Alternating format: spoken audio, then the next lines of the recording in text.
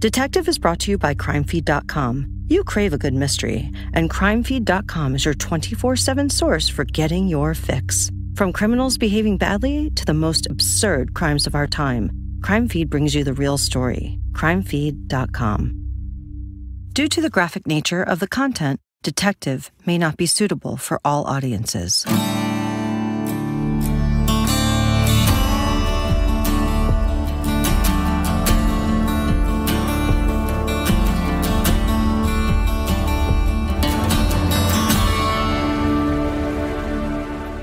How many movies have you been to? How many TV shows have you watched? Where the motive is millions. It is a bag of diamonds. It is something of huge value, resulting in the perpetrator leaving in his private jet to conceal himself in Brazil from the investigators. Uh, this is what it is, right? If you've been listening to Detective, you know episode three was about motives for murder money, sex, and revenge. I'm Garnsey Sloan for Investigation Discovery, and this is Detective True Stories from Behind the Yellow Tape, the ones you don't hear on TV. On this episode, Lieutenant Kenda talks about money as the motive. You may have heard about murder cases where millions are at stake, but according to Lieutenant Kenda, most murders happen over much smaller sums. I have a guy who owes a guy $15 of a drug debt. The drug dealer decides he needs to make an example out of this guy, and he murders him and takes the $15 out of his pants and leaves the rest of the money. Because after all, his debt was only $15. Example two two guys in a bar. They know each other. They don't know each other well, but they're casual acquaintances. They work together. They're drinking and they're shooting pool. The pool table requires two quarters to release the balls for each game. They're shooting eight ball, so the guy who wins the game has to put the two quarters in for the next game. And that's the bet, back and forth. Nobody's actually getting any money. It's 50 cents to allow them to continue to play, but they're all drinking. And then one guy loses count. And he insists that it's the other guy's turn to put the two quarters in the table. It's not my, it's your turn. The argument becomes heated. One pulls out a 45 automatic and shoots this guy in the chest. He's dead before he hits the pool table. And then he runs in front of 50 witnesses. He killed him for 50 cents, not the bag of diamonds. Money's the motive. Emotion pulls the trigger.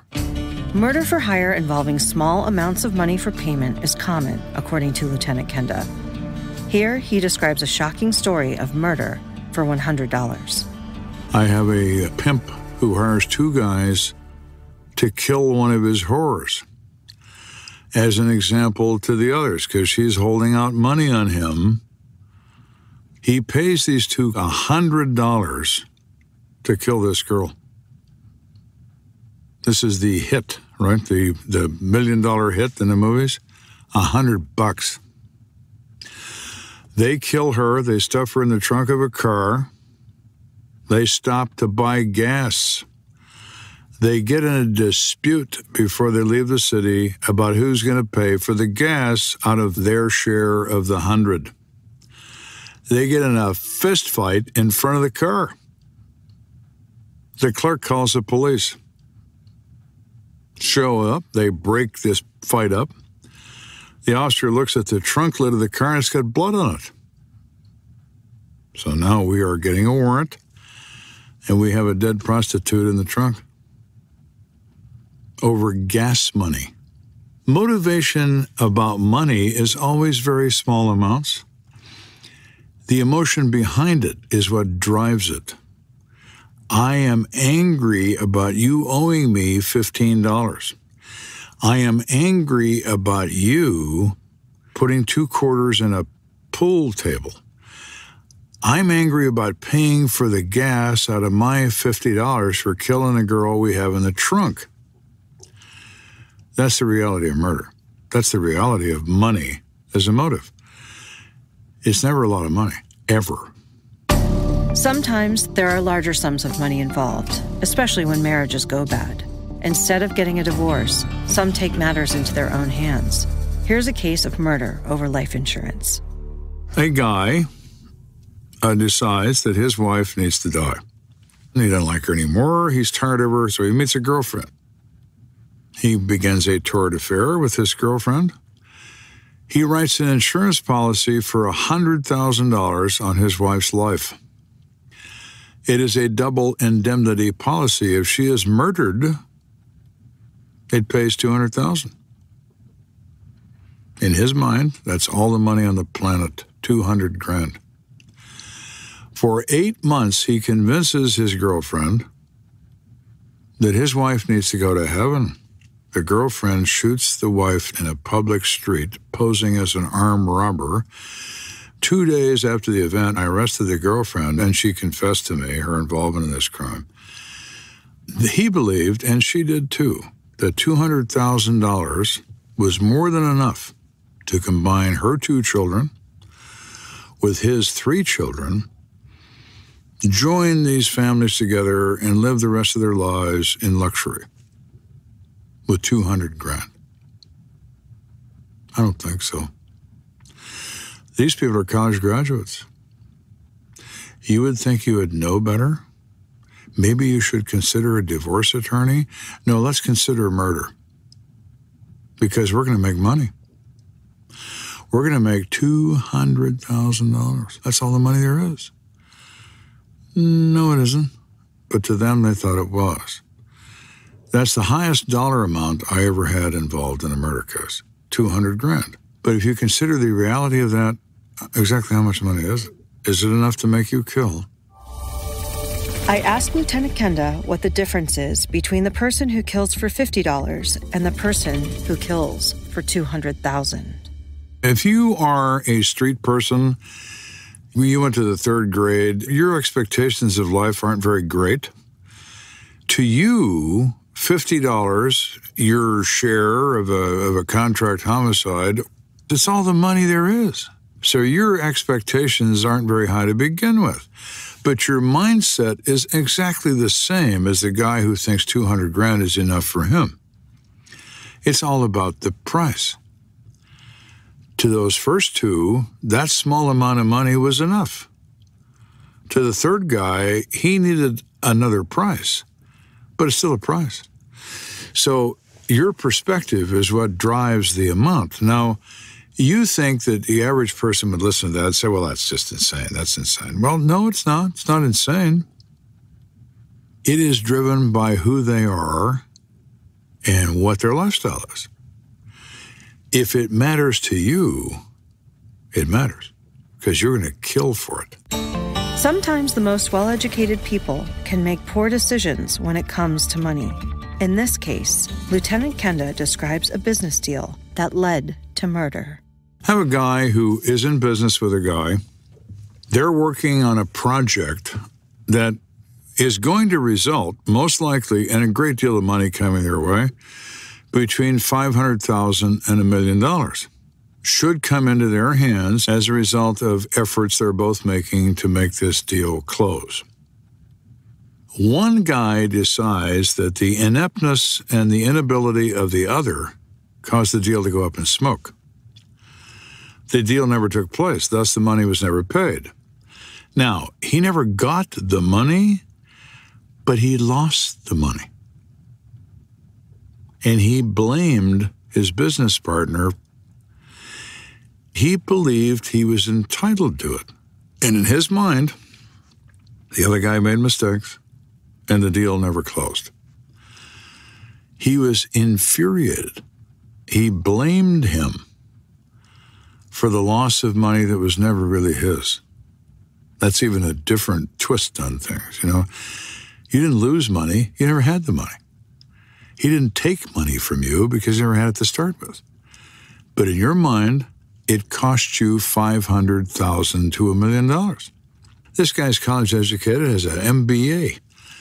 He goes to a strip club and he starts talking to strippers, telling them he needs a hitman. Why he decided the strippers know who hitmen are, I have no idea. But he runs across this stripper and she says, Well, you going to pay the guy? Well, yeah, I'm going to pay 10000 I want a guy killed.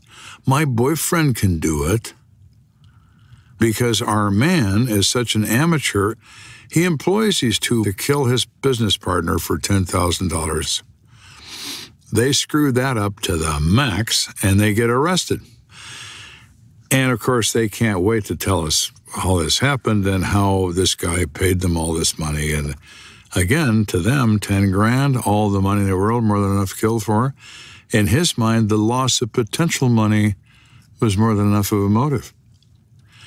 I went into his office and arrested him for murder, and he passed out across the desk. I thought the guy had a heart attack. I called medical. I thought I killed him by announcing he was under arrest. It turns out he just passed out. They woke him up and we threw him in prison. And sometimes just being in debt can motivate someone to kill. Oh, there's been a couple of those where there were there were personal debts involved where they were driven by indebtedness to someone who they owed money to, a large amount of money, not for some criminal purpose, but just money that had been borrowed or uh, somehow engaged in. One was a real estate transaction where a guy borrowed money from an individual instead of a bank and then couldn't make it happen and couldn't get the money and lost the money and so on and so forth. The guy's pressuring him big time to pay him back. They get an argument. I don't have the money. You're going to have to wait for the money. No, uh, what I do have is a bullet and maybe the debt will go away. And he killed this guy and then tried to conceal that fact. But we put two and two together and resolved that. But his motivation was indebtedness. He didn't have the money to pay the guy. It was a legitimate debt. He certainly owed the money, but he didn't have it, and there was probably no way he would ever have it. So he was fearful of what that would mean for him without thinking about what murder would mean. He was more fearful of the consequences of bankruptcy and or financial pursuit by this guy who had reached the point of making those threats that he was going to sue him, he was going to take everything he owned, and he killed him instead. You do find those kind of motivations involved in murder cases where sometimes just indebtedness is enough. And that's why I say money is applied as a general overview term.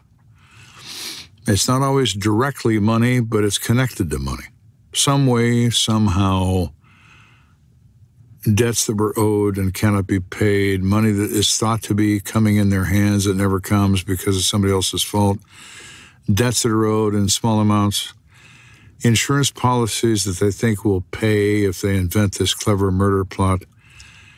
Murder plots are never very clever. You wind up encountering those all the time. They're common. They're very common.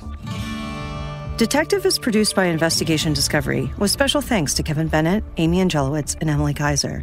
Many thanks to the best audio engineer in the business, the mighty Joe Powers. Original music was composed by the talented Chris Kennedy. Cover art was designed by Anand Galat. Sign up now at iTunes to get Detective on your feed. And join me, Garnsey Sloan, every week for a new episode.